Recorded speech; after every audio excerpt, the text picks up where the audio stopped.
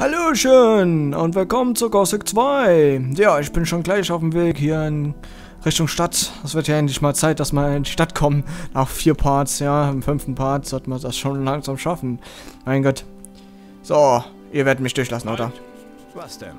Du kommst hier nicht rein, mein Junge. Oh doch. Warum nicht? So abgerissen wie du aussiehst, machst du hier bestimmt nur Ärger. Wir haben schon genug Gesindel in der Stadt. Leute ohne Geld können wir nicht gebrauchen. Ähm, woher willst du wissen, dass ich kein Geld habe? Äh, pff. Kann ich mir hier einfach mal... Anführer der Paladine. Ich habe eine wichtige Nachricht für ihn. Ach. Und was könnte das wohl für eine wichtige Nachricht sein? Äh, du zum Beispiel, dass der Drachen angreifen dir. Die haben hier das böse Lack im... Mach ich mal das. Die Armee des Bösen lagert im Tal von Korenis. Im Minental? Kommst du von dort? Hast du die Armee gesehen?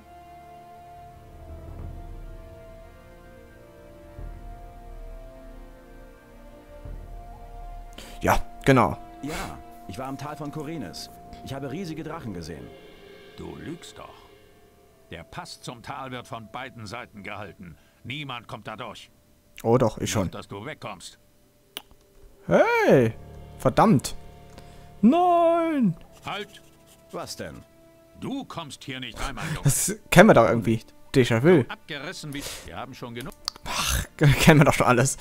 Hier kann man einmal Kräuter machen oder ich bin gekommen, um mich der Miliz anzuschließen. Ja. Äh, ich habe einen Passierschein. Hier sind 100. Lass mich rein. Das kann man, glaube ich, auch machen. Ich bin gekommen, um mich der Miliz anzuschließen. Ja, ist gut. Versuch's damit mal beim anderen Stadttor. Vielleicht kaufen die dir das ab. Der ist auch gut. Was denn? Ähm, ja, ich habe hier einen Ich Passierschein. einen Passierschein. Tatsächlich? Und wen hast du dafür umgelegt, du Halsabschneider? Wollt ihr Junge. mich jetzt reinlassen oder nicht?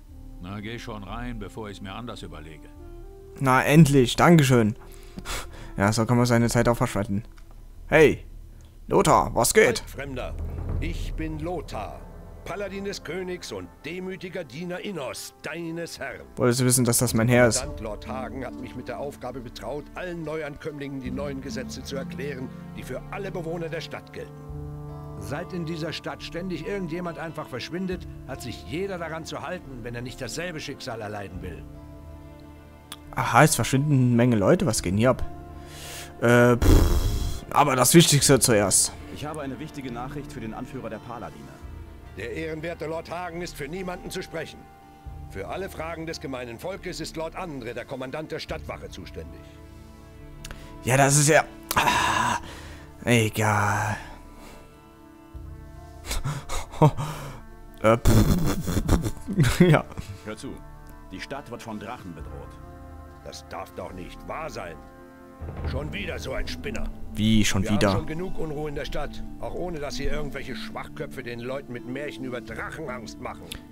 Den letzten, der hier was von Drachen erzählt hat, habe ich direkt eingebuchtet und mit dem Gefangenentransport ins Minental geschickt. Also hüte deine Zunge. Äh, Wir was? können hier niemanden gebrauchen, der Panik unter den Leuten verbreitet. Ja, das sollte euch aber zu denken geben, wenn schon ich der Zweite bin, der so ein Märchen erzählt. Hier hat schon jemand von den Drachen berichtet? Ja, der Kerl hieß Diego. Diego? Glaube ich jedenfalls. Ich hatte ihn gewarnt, genau wie dich. Aber der Spinner wollte einfach nicht aufhören, mir auf den Geist zu gehen. Was? Du hast Deko zurück ins Mintal geschickt? Du Penner. oh, soll man noch weiter reizen hier? Ich bin gekommen, das Auge Innos zu holen. Das heilige Auge Innos. Woher weißt du davon? Du bist kein Angehöriger des Ordens. Ein Magier hat mir davon erzählt. Ich weiß nicht, was seine Beweggründe waren, dir eines der Geheimnisse unseres Ordens anzuvertrauen. Aber er hatte sicherlich nicht im Sinn, dass du es in die Finger bekommst. Doch, genau das. Aber Ich will nichts mehr davon hören.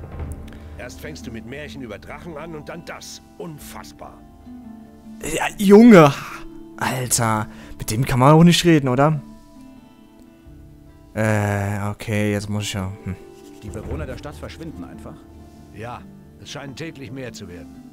Ärgerlich an der Sache ist, dass die Miliz die Hintergründe dieser seltsamen Vorkommnisse immer noch nicht klären konnte.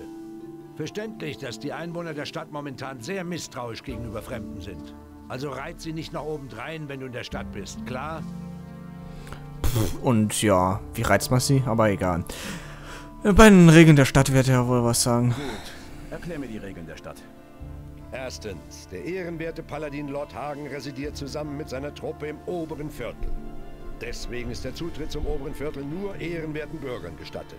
Wer ist ehrenwert? Zweitens, das Rathaus im oberen Viertel dient als Kommandoposten der Paladine. Dort haben nur die Paladine selbst und Angehörige der Miliz Zugang. Und drittens, wer eines Verbrechens angeklagt ist, muss sich beim Kommandanten der Miliz dafür rechtfertigen. Noch Fragen? Ja, einige. Äh, ja, genau. Zum Beispiel. Wie werde ich Bürger der Stadt? Nur wer hier einer ordentlichen Arbeit nachgeht, wird als Bürger der Stadt angesehen. Aber denk nur nicht, dass du bei Lord Hagen vorgelassen wirst, nur weil du Bürger der Stadt bist. Als Bürger hast du Zugang zum oberen Viertel. Mehr nicht. Nur als Angehöriger der Miliz hast du Zugang zum Rathaus. Was? Muss ich mich der Miliz echt anschließen oder was? Wo finde ich Arbeit? Du wirst dich bei einem der Handwerksmeister hier in der Unterstadt als Lehrling bewerben müssen. Sobald einer der Meister dich aufnimmt, bist du Bürger der Stadt. Allerdings müssen dafür auch die anderen Meister zustimmen. So will es der Brauch hier in Korinis. Wenn du auf Ach die Gott, Idee kommen Gott. solltest, im Hafenviertel nach Arbeit zu suchen, vergiss es. Da wohnt nur der Abschaum der Stadt. Geh bloß nicht dorthin, du würdest es bereuen. Puh, Eieiei, das hört sich ja kompliziert an. Also, einmal muss ich Bewohner der Stadt sein und Miliz. Was? Oder? Wie werde ich bei der Miliz aufgenommen? Auf ausdrücklichen Befehl von Lord Hagen werden nur Bürger der Stadt bei der Miliz aufgenommen. Verstehe. Wenn du mehr wissen willst, melde dich bei Lord André in der Kaserne. Also, ich muss echt erst Bürger der Stadt sein und dazu muss ich hier als Lehrling angenommen werden, wo alle anderen Meister auch zugestimmt werden müssen und dann mit Lesen, was zum Teufel? Ja, ja, genau, wenn ich das sage, dann das ist auch lustig. Wie komme ich zum oberen Viertel? Sag mal, hörst du mir überhaupt zu? Nö. Du bist kein Bürger dieser Stadt. Du kannst dir den Weg sparen, die Wachen werden dich nicht einlassen. Der gesamte Bereich hinter dem inneren Stadttor ist tabu für dich. ja, komm, noch weiter Was heran. muss ich tun, um eine Rüstung wie deine zu bekommen? Was? Du bist ja noch nicht einmal bei der Miliz. Du bist ja noch nicht mal Bürger. Wie kannst du daran denken, die Rüstung eines Paladins tragen zu dürfen? Nur wenige Soldaten der Miliz, die Außergewöhnliches geleistet haben, haben bisher diese Ehre erhalten. Wenn du ein Paladin werden willst, hast du noch einen weiten Weg vor dir, mein Junge. Ach Gott, ist ja gut. Wo finde ich den Kommandanten der Stadtwache? Lord Andre hält sich in der Kaserne am anderen Ende der Stadt auf. Schöne Beschreibung. Bisschen Wo kann ich hier übernachten? Wenn du einen Platz zum Schlafen suchst, geh zum Hotel, direkt gegenüber der Kaserne. Die Paladine kommen für die ordentliche Unterbringung aller Reisenden, die in die Stadt kommen, auf. Die fahrenden Händler vom Marktplatz sind auch dort untergebracht. Aha. Ich muss weiter. Wenn mir noch einmal zu Ohren kommt, dass du den Leuten hier was von Drachen erzählst, bekommst du mächtigen Ärger mit mir. Klar? Ah, chill mal, Alter. Okay, so. Bevor ich hier aber mich weiter umsehe, werde ich erstmal mit Vatras reden. Der Auftrag habe ich schon, bevor ich hier mich ins andere Getümmel gestürze. Ich kenne mich ja hier aus, zum Glück. So, Vatras. Adanos sei mit dir. Bist du? Ich bin Vatras, ein Diener des Adanos, des Behüters des göttlichen und weltlichen Gleichgewichts. Was kann ich für dich tun? Ähm, ja. Erstmal Brief, oder? Ich habe hier einen Brief für dich. Für mich? In der Tat. Das ist eine wichtige Botschaft, die du mir da übermittelt hast. Ach, echt? Ich frage mich, wie du an diesen Brief gekommen bist. Ja, vom Kalorn halt. Von Kavalon, dem Jäger. Kavalon? Wo ist er? Er sagte mir, ich solle dir ausrichten, dass er es nicht mehr geschafft habe und auf dem Weg zum Treffpunkt sei. Was das auch immer heißen mag. Ich sehe, dass du Kavalons Vertrauen gewinnen konntest. Das spricht für dich, mein Sohn. Alles klar. Erzähl mir etwas über den Ring des Wassers. Und warum sollte ich das tun? äh, pff. Weil ich mich anschließen will oder keine Ahnung? Kavalon hat mich zu dir geschickt. Und was hat er dir erzählt? Er sagt, ihr braucht dringend mehr gute Leute. So. Also willst du dich uns anschließen, mein Sohn? Ja, sicher, klar. Zählt ja nicht als Gilde hier. Ich will mich dem Ring des Wassers anschließen. So? Dann hast du ja schon die erste Bedingung dazu erfüllt. Ach, Was was? meinst du damit? Naja, du hast jemanden in den Reihen unserer Kinder, der dir vertraut. Sonst würdest du sicherlich nicht davon wissen. Aber ich weiß gar nichts über dich. Was willst du wissen? Nun, du könntest mir erzählen, wo du herkommst und warum du in die Stadt gekommen bist. Ich komme mit einer wichtigen Botschaft für den Anführer der Paladine. Was ist das für eine Botschaft? Der wohl will aber echt hier viel wissen. Ja, man kann ihn jetzt alles Möglichen erzählen, aber er vertraut einem nur, wenn man die Wahrheit sagt. Während wir reden, sammelt sich eine große Armee unter der Führung von Drachen, um das Land zu erobern. Drachen? Du sprichst von Wesen, die bisher nur in Sagen Erwähnung finden. Woher weißt du das? Und dem Mann kann man auch vertrauen, der ist vertrauenswürdig. Ja, klar, logisch, aber ja, wie gesagt, Vatras ist ein guter Mann, den kann man ruhig alles frei raussagen. Irgendwo aufgeschnappt. Xardas, der Magier, hat es mir erzählt. Er hat mich geschickt, die Paladine zu warnen.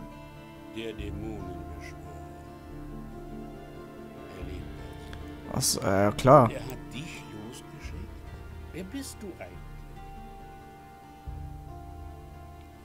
Bin einem Teuer aus dem Süden. Nope, ehemaliger Ich Gefangener. bin ein ehemaliger Gefangener der Strafkolonie von Corines. Gut. Fassen wir mal zusammen. Du bist ein ehemaliger Gefangener, der von Xardas, dem Dämonenbeschwörer, erzählt bekommen hat, dass Drachen gekommen sind, um das Land zu erobern. Und du bist gekommen, um den Paladinen davon zu berichten. Das hört sich alles sehr abenteuerlich an, aber ich kann nicht erkennen, dass du mich anlügst. Daher muss ich annehmen, dass deine Beweggründe ehrlich sind. Ich will dir eine Chance geben, dich dem Ring des Wassers anzuschließen. Alles klar. Der hat einen eingebauten äh, Lügendetektor oder was? Weil wenn man was äh, irgendeine Lüge erzählt, dann ja, sagt er, du erzählst mir nicht die volle Wahrheit. Irgend sowas, aber genau weiß ich nicht. Ähm, jetzt mal erzählen. Erzähl mir etwas über den Ring des Wassers. Als Anwärter auf den Eintritt in unsere Gemeinschaft darfst du natürlich nicht alles wissen. Warum Aber nicht? ich werde dir sagen, was ich kann. Dann mach mal los, ja. Wer gehört alles zum Ring des Wassers? Das wirst du erst erfahren, wenn du in den Ring aufgenommen wirst. Aber ich bin mir sicher, einige von uns wirst du schon kennengelernt haben, bis es soweit ist. Ja, einen kennen wir ja schon. Kavalon, ja. Wo sind die anderen Wassermagier? Sie erforschen die Ruinen einer alten Kultur, nordöstlich von Korinis. Wir vermuten, dass diese Ruinen den Zugang zu einem bisher unerforschten Teil der Insel darstellen. Unbekannten Teil. Erzähl mir mehr über den unerforschten Teil. Wenn du daran interessiert bist, dich der Expedition anzuschließen, kann ich dich mit einem Schreiben zu Saturas schicken. Satoros, Du ah. kannst natürlich nur dann teilnehmen, wenn du einer von uns bist. Natürlich. Okay. Was genau tut ihr eigentlich? Wir stehen zwischen der Ordnung Innos und dem Chaos Belias. Wenn eine der beiden Parteien die Überhand gewinnt, dann bedeutet das den Verlust der Freiheit auf der einen Seite oder das todbringende Chaos auf der anderen. Und so sorgen wir dafür, dass Gleichgewicht herrscht zwischen ihnen. Nur so ist ein Leben auf dieser Welt überhaupt möglich. Ja, gemäßigt. Das eine, auf der einen Seite der, Kontra die totale Ordnung, Kontrolle über alles, Überwachungsstaat. Und auf der anderen Seite Chaos, Blut und Mord. ja, so kann man sehen. Und wirklich, man muss den Zwischenweg finden. Dass alles im Gleichgewicht ist, das ist schwierig, aber... etwas konkreter? Der Fall der Barriere hat viele Bedrohungen hervorgerufen. Die wohl offensichtlichste stellen die Banditen dar. Nicht nur, dass es fast unmöglich geworden ist, die Insel zu bereisen, ohne angegriffen zu werden. Es gibt auch noch jemanden in dieser Stadt, der die Banditen unterstützt. Wir haben herausgefunden, dass die Banditen regelmäßig von einem Waffenhändler aus Korinis versorgt werden.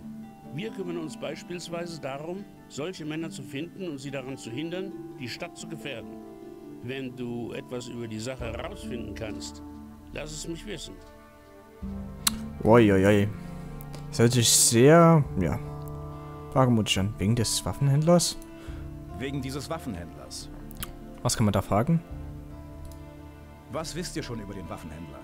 Sprich mit Martin, dem Proviantmeister der Paladine, darüber. Er kann dir sicher mehr dazu sagen. Er ist mit der Aufgabe betraut worden, den Waffenhändler zu entlarven.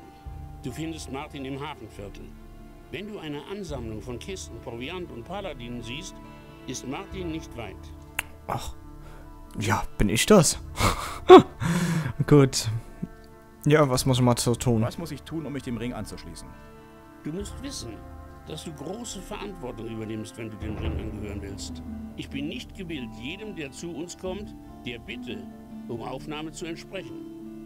Wenn du dem Ring angehören willst, musst du beweisen, dass du auch so handelst wie einer von uns. Und das heißt? Bevor wir einen jungen Mann in unseren Dienst stellen, muss er etwas Großes für den Ring vollbracht haben. Ach Erst du dann Scheiße. in Erwägung ziehen, dich für die Erhaltung des Gleichgewichts der Kräfte auf dieser Insel einzusetzen. Uiuiui. das ist gut. Ich hab, ist das groß genug? Ich habe den Schläfer besiegt. Ist das groß genug? Viele Geschichten erreichen meine Ohren in diesen Tagen. Auch die über die Verbannung der Bestie namens Schläfer. Dass das einzig deine Hand herbeigeführt haben soll, ist mir nicht geläufig. Obwohl deine Augen voller Überzeugung sprechen. Das verunsichert mich. Aber ich bin mir nicht sicher, dass mich meine Sinne nicht auch täuschen könnten. Junge, Alter, wenn einer dafür verantwortlich ist, dann ich. Äh, Barriere ist weg. Ich habe viele Menschen befreit. Die Barriere ist weg. Selbst wenn du wirklich dafür verantwortlich sein solltest. Das große Ereignis im Minental hat nicht nur die Magier des Wassers und andere aufrechte Bürger wieder in die Freiheit entlassen. Die Verbrecher des ganzen Landes laufen frei in Korinis umher und bedrängen heute die Menschen dieser Stadt. Die Banditen haben schon große Landstriche in der Umgebung der Stadt eingenommen. Es ist fast unmöglich geworden, unbeschadet die Stadt zu verlassen. Ja, ist ja gut. Was wäre denn etwas Angemessenes, das dich überzeugt? Ein großes Rätsel beschäftigt Korinis in diesen Tagen. Die Zahl der Vermissten dieser Stadt scheint fast täglich zu steigen. Wenn du es schaffen solltest, mir zu erklären, was mit ihnen geschehen ist, dann soll dir dein Platz im Ring des Wassers sicher sein. Allerdings Ja? solltest du zuerst eine Nachricht zu den Paladinen bringen. Ich glaube, die Sache ist von äußerster Wichtigkeit. Rede mit Lord Hagen. Ja, wenn das so einfach wäre. Da müsste ich erstmal irgendwie zu Lord Hagen vorgelassen werden. Aber Lord Hagen wird mich nicht vorlassen. Doch, das wird er zweifelsohne tun, wenn du einer mächtigen Gemeinschaft angehörst. Der Ring hat weitreichende Beziehungen. Wir werden dir helfen, deine Nachricht so schnell wie möglich zu überbringen. Du solltest darüber mit meinem Vertrauten Laris sprechen. Laris? Er wird dir helfen. Den kennen wir ja auch noch. Aus dem neuen Lager. Welcher Gemeinschaft soll ich mich anschließen? Es gibt nur drei Gemeinschaften, die mächtig genug sind. Die städtische Miliz, das Kloster der Feuermagier oder die Söldnertruppe auf dem Hof des Großbauern. Warum die Die Söldnertruppe? Wahl liegt bei dir, mein Sohn. Sicher kann dir Laris bei dieser schwierigen Entscheidung zur Seite stehen. Rede mit ihm darüber. Okay, dann werde ich das. Das werde ich tun. Boah, boah, boah, so viel, so viel. Ah. Wegen der vermissten Leute. Ja? Mal sehen, ob wir da auch noch was erfahren können. Wo soll ich anfangen, nach den Vermissten zu suchen? Unten am Hafen sind die meisten Menschen verschwunden. Vielleicht sollte deine Suche dort beginnen. Da muss ich ja ein Abschaumviertel hier. Ich will dir erzählen, was ich weiß. Ich weiß noch gar Was nichts. hast du herausgefunden? Bisher leider nichts Wesentliches. Das war jetzt ziemlich unnötig. Gibt es etwas, das mir bei der Suche helfen kann? Ja, Gibt das es etwas, das mir bei der Suche helfen kann? Du bist sehr beharrlich, junger Mann. Aber mir fällt tatsächlich etwas ein, das dir deine Aufgaben erleichtern könnte. Ja, sag. Ich werde dir Kapär. dieses Erzamulett mitgeben. Du kannst es sicher gut gebrauchen. Es ist ein Amulett der suchenden Irrlicht. Ah, ja. Es gibt nur sehr wenige dieser Art. Das Irrlicht, das in diesem Amulett innewohnt, hat ganz besondere Eigenschaften. Es kann dir helfen, Dinge zu finden, die du mit bloßem Auge oft nicht sehen kannst. Um es zu rufen, musst du das Amulett nur anlegen. Wenn es seine Kraft verliert oder du es nicht finden kannst, lege das Amulett einfach nochmal an und es wird wieder erscheinen. Das Irrlicht kann Waffen aufspüren.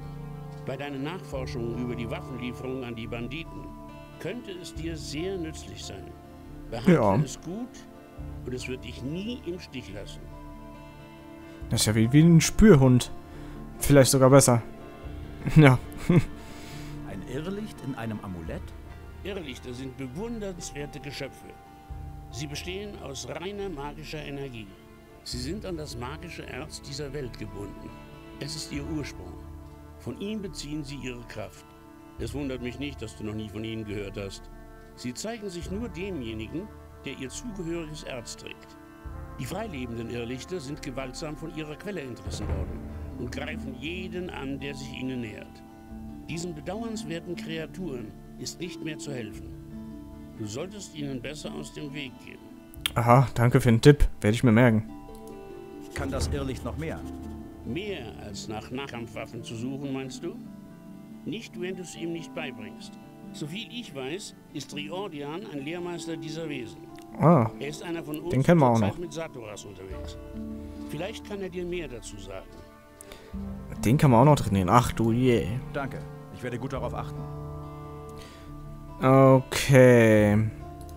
Ich glaube, jetzt habe ich soweit alles Wichtige. Spenden erstmal nicht. Nee, kannst du mir Marguerite beibringen? Auch nicht. Erzähl mir über die Götter. Äh, kannst du mich heilen? Alte Götter, das... Was? siehst, gib ihm dieses Ornament und sage ihm, dass es zurückgebracht werden muss. Er wird schon wissen, was er damit zu tun hat. Ach Gott, habe ich schon gleich die nächste Aufgabe. Gut, Junge. Also, boah. Da haben wir schon ein paar neue Auftragen. Ja, Waffenhändler, wo sind die vermissten Leute? Der Mann mit der Augenklappe. Die Wassermagier, der Ring des Wassers, das Auge hinaus. Ja, und die Aufträge werden bestimmt nicht weniger. Das kann ich euch versichern. Also, es gibt... Was? Hey, du, warte mal. Du kommst mir bekannt vor. Was willst du? Irgendwo habe ich dein Gesicht schon einmal gesehen. ich kenne deinen Namen aber nicht. Richtig. wurde von Belia zerstört. Hä? Steckbrief? Hier, dieses Bild haben wir bei ein paar Banditen gefunden, die wir vor einigen Tagen aufgegriffen haben. Das sieht dir ziemlich ähnlich. Anscheinend haben die Kerle dich gesucht. Ja, wir haben auch schon eins gefunden. Das ist ja großartig. Nein, das muss eine Verwechslung sein. Und Bei so mir ist alles in Ordnung. sich zwischen seine Ganz wie du willst, Fremder. Aber falls das doch deine Visage ist und falls Und du Probleme hast, dann lass sie außerhalb der Stadt. Wir haben hier schon genug Schwierigkeiten. Hab ich gemerkt. Und Fremde, die Ärger in die Stadt bringen, bleiben nicht lange in der Stadt. Ich hoffe, das war deutlich. Ist ja gut, ganz ruhig, chill mal. Okay, okay. Aber jetzt will ich endlich mal den, diesen Part beenden für heute. Ja, mein Gott. Wieder nur gequatscht, aber das ist wirklich, ja, wie soll ich sagen, das macht sehr viel aus hier, besonders in der Stadt Grünes. Das Kämpfen, das kommt erst nachher so ein bisschen. Am Anfang muss man sich durch ein... Du wirst ja erschlagen von Quests. Das gefällt vielleicht nicht jedem, aber mir gefällt's. Also ich finde das schön komplex. Meine, das vermittelt doch eine richtige lebende Welt, wo man da eintauchen kann. Na gut. Aber das werden wir dann nächste Folge noch sehen. Ja, gut. Also, ich hoffe, es hat euch gefallen. Es war schön, dass ihr wieder dabei wart und wir sehen uns beim nächsten Mal. Also, macht's gut. Bis dann. Tschüss.